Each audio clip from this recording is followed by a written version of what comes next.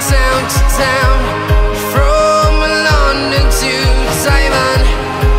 Hola mis amigos del YouTube, ¿cómo están? Sean bienvenidos una vez más a mi canal. Yo soy Santi Barrios, tu anfitrión del día de hoy. Espero te guste el video de hoy, el análisis y reseña que haré hoy. Y antes de comenzar, simplemente quiero recordarte que te suscribas al canal y actives la campana de notificaciones. Así YouTube te notifica cada vez que yo subo un video al momento y sobre todo te unes a esta familia que poquito a poquito va creciendo. Sin más nada que decir, enrollarme o rellenar del video, comenzamos con el análisis y reseñas de una de las series que yo ya ansiaba mucho en hacer el análisis.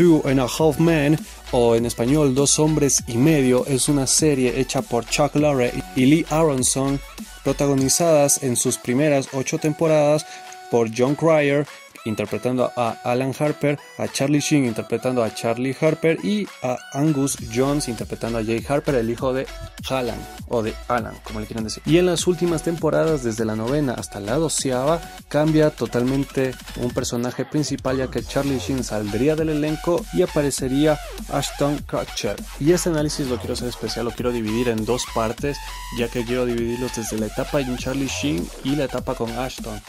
Quiero hacerlas así, porque pienso que englobar todos sería como que algo muy contraproducente, por decirlo así de una manera elegante.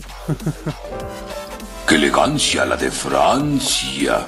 Buenas noches, Así señor. que analicemos las primeras ocho temporadas. Charlie Harper es un tipo que es mu- mujeriego, también le encanta bastante el alcohol y que de repente recibirá la llegada de su hermano divorciado Alan y de su sobrino Jake. Y tras esto, el trastorno o el fondo de toda la serie se engloba en estos tres, apareciendo varios personajes secundarios como por ejemplo la mamá de Charlie y de Alan y también la ama de llaves que es Berta Ambas actrices secundarias lo hacen a la perfección, son magníficas, aportan cada escena en la que están lo que tienen que aportar. Son dos grandes personajes que no se puede sacar de la serie por más que te guste o no te guste, si es que te llega a disgustar alguna de las actitudes de estas. No importa, son meramente importantes como actrices secundarias. Y en fin, otros actores más que se encuentran en dicho reparto. Pero en fin, volviendo a lo que son los tres, los tres mosqueteros, por decirlo así. Como te digo, la serie se desarrolla en base a los tres y la serie cobra vida gracias a estos tres, ya que los tres hacen un trabajo excelente como protagonistas. Los tres son sumamente increíbles. Charlie con su personaje mujeriego y amante del alcohol es una excelencia total. Aparte de sus chistes de humor muy negros hasta incluso y también Alan aporta lo suyo siendo ese personaje introvertido como que no sabe cómo conversar o hacer la conversa con una chica en fin. Y ciertos aspectos más en su vida personales no muy personales que lo hacen tener ciertas dificultades justamente con sus parejas. Y Jake que es en este caso el hijo de Alan, aporta lo suyo, como ese niño que no te hace ver tonto, ni tampoco te hace ver muy inocente, ni muy inteligente, es todo equilibrado, porque en la escuela es terrible, tiene malas calificaciones y todo eso, y no quiere estudiar como cualquier otro niño, al menos en de, de 10, 12, 13, 14 años, que no quiere estudiar ni nada por el estilo, no quiere saber nada de eso, solo quiere pasársela en la televisión, jugar videojuegos, comer y, y ya, no quiere estudiar. Es así, o sea, se desarrolla así Jake. Y lo genial de este personaje es que no es hartante, o sea, no te harta, no es castroso, por decirlo así, porque hay muchas series con niños con roles protagónicos o secundarios, pero muy importantes, en los cuales son muy hartantes, son muy castrosos y te hacen que de inmediato le tomes cierto odio. En cambio, Jake no, todo lo equilibra y nada, y en absolutamente ni un solo momento es castroso o es hartante Jake. En realidad te hace empatizar más y lo mismo pasa con los otros dos, con Charlie y con Alan. Te hace empatizar los tres por igual y te enredan para que sigas viendo la serie. Y eso es lo genial de la serie. Tiene bastantes segmentos de humor, ya sea desde el más inofensivo hasta el humor más negro, porque tocan temas como el sexo, como el alcohol, como las drogas, como si nada, como si no fuera eh, muy delicado. O bueno, hoy en día ya no son temas tan delicados, pero estamos hablando de que la serie se estrenó en los 2000, o sea, a inicios de los 2000, en el 2003 para ser más preciso. Todavía era una sociedad muy arraigada a pesar de todo, pero hoy en día ya es un poco más común. Ahora bien, los otros temas que también de vez en cuando hablan son a veces también de violaciones y otros actos criminales. Pero la serie y el guion está tan bien estructurado que lo hacen de una manera graciosa y que hasta el más moralista le saca una carcajada justamente por este tipo de bases o de este tipo de referencias que ellos hacen en toda la serie. Y eso digo, o sea, muchos dirán que no, con esos temas no se juegan ni nada por el estilo porque son temas sumamente graves. Y yo te digo, estoy de acuerdo, me parece bien, está bien, porque sí, son temas delicados, pero cuando el guion está bien estructurado, el guion está bien hecho y la comedia es bastante buena, por más negra que sea, es excelente, no lo puedes negar, ni tampoco te gustará que se quite ese tipo de humor, a mí al menos para nada, ojalá y muchas series de comedia o que tratan de ser de comedia, ¿no? fueran así como esta. En fin, como te digo, desde las primeras ocho temporadas es una obra maestra, es una obra perfecta que sí tiene sus detalles y todo eso, que tiene cosas que no te pueden llegar a agradar de la serie o momentos en los cuales se estanca la misma, pero los hacen llevaderos, es decir, no se toman mucho tiempo estos momentos de estanque, es como si fueran solo efímeros, es como si fueran solo minutos en la historia y que no te lleva nada más que esto para pasarlo. Así que ningún momento es de desperdicio, ni ningún momento te lo puedes perder porque siempre los tres congenian, ya sea entre ellos mismos o con su entorno en general, lo cual lo hace increíble y lo cual demuestra lo tan buenos actores que son.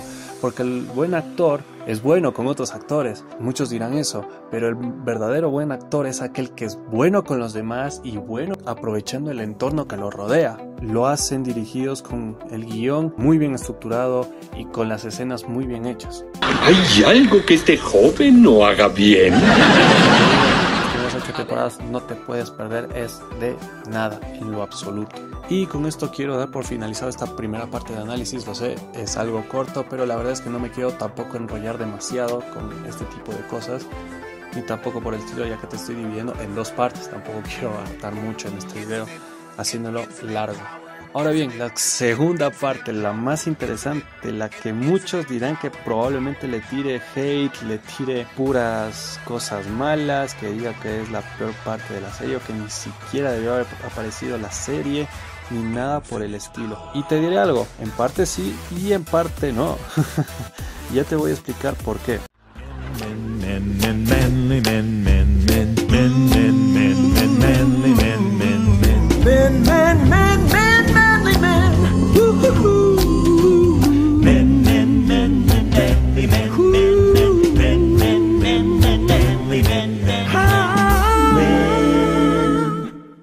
Deciden los productores, los directores, etcétera, etcétera, etcétera, que lo mejor es que Charlie Sheen se vaya del elenco.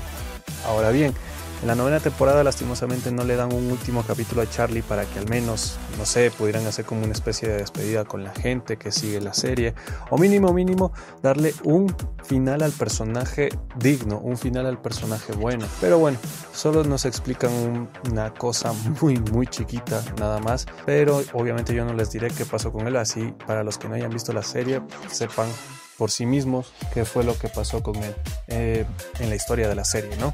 Pero en fin, Ashton Kutcher pasaría a ser uno de los nuevos protagonistas interpretando a Walden Schmidt, un millonario y al borde de suicidio tras divorciarse de su pareja y todo eso. pe- Pero por decirlo así, Alan lo salva diciéndole que le hará regresar con su ex pareja y entonces él decide Walden comprar la casa que Alan estaba vendiendo ya que no querían vivir en un lugar donde estaba su hermano, donde pasaba el mayor tiempo su hermano y sobre todo para no recordarlo, ¿no? Según la serie.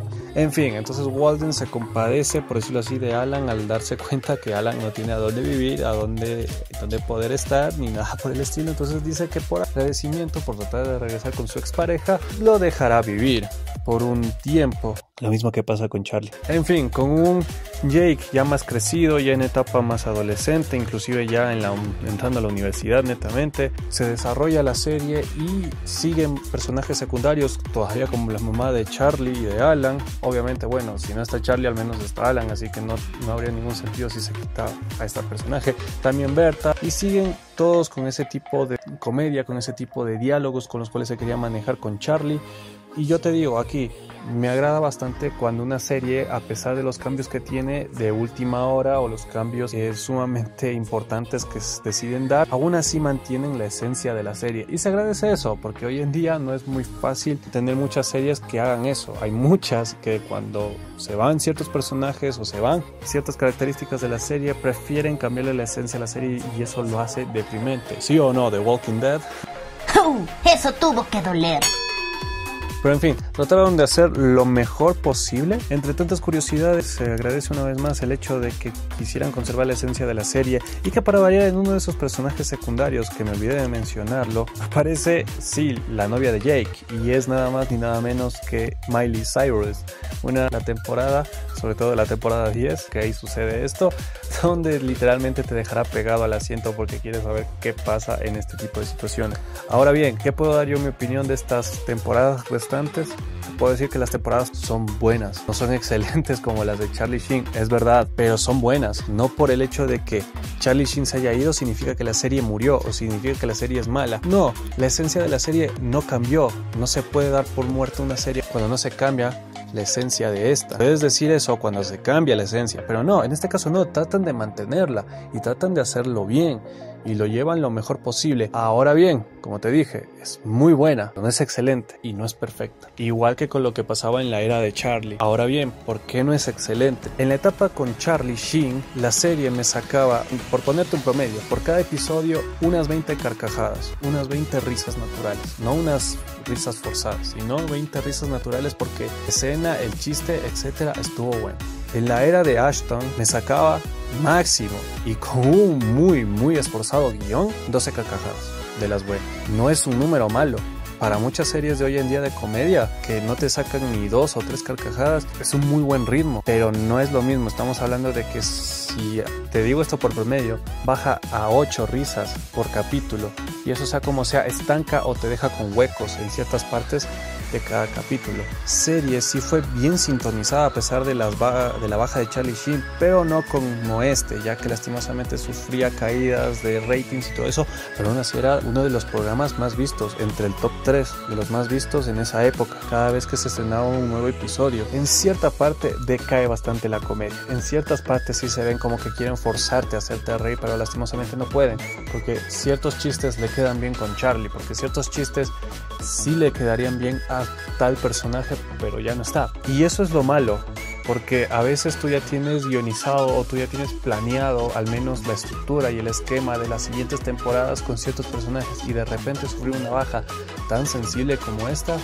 te hace cambiar literalmente el fondo y lastimosamente suplir la baja de Charlie de una manera correcta. Trataban de hacer la comedia bien a lo Charlie que le quedaba solo para que Charlie lo haga y lastimosamente lo querían reflejar con Ashton que es un personaje muy pero muy distinto a Charlie. Y ese es el problema. Si no tienes a cierto personaje no saques esos chistes. Es preferible que tengas escenas por decirlo así entre comillas más serias o con chistes más al tono de tal personaje a que trates de enfocar ciertos chistes a un personaje que no le queda. Y ese es el mayor problema de la serie, que justamente algunos guiones se ven muy pero muy forzados. Y no te digo, cada capítulo lo vale, sí y no. En cada temporada de la 9, 10, 11 y 12 de cada temporada. De todos los capítulos que hay, siquiera 5, 5 capítulos te dicen que te saltes de capítulo o cambies de canal, te soy sincero, por ponerle un número bajo y porque en realidad la serie no es mal, pero sí hay ciertos capítulos que definitivamente no deberías verlos, sin, por decirlo así, no deberías perder tu tiempo viéndolos en este caso y eso pasa en cada temporada lastimosamente. No es como el hecho de que, bueno, la novena temporada pasa esto porque lastimosamente Ashton es un recién llegado y se tiene que adaptar tanto a los guiones como al resto de personajes.